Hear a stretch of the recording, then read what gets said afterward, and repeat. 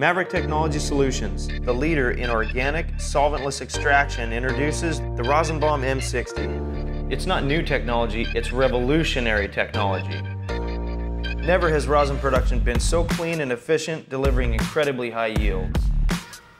Hi, I'm Ryan Mayer, President and founder of Maverick Technology Solutions, the inventor of the RosinBomb press line. What's really revolutionary here is the flow channel technology which enables you to press multiple cycles without cleaning in between each cycle.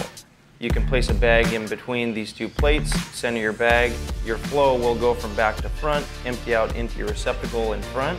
This enables you to press over and over and over and literally lets you mass produce without the scraping in between. The M60 allows for up to 15 grams of material in each paperless press cycle. Our exhaustive testing shows press amounts of flower per unit to be up to one pound per hour, yielding approximately 90 grams of extract hourly. No pausing between presses means continuous, more efficient press times. One single button activates over 6,000 pounds of force. The entire RosinBomb line is plug and press right out of the box. This is the next generation of rosin production. No compressor, hydraulics, separate electric pump, or hand crank are required.